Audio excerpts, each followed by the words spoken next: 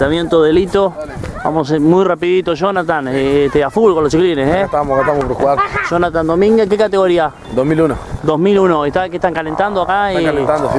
Sí, este, y los días fríos es importante el calentamiento, ¿no? Sí, es importante. Siempre es importante que ¿Qué le indicas en un partido como este a los gurises?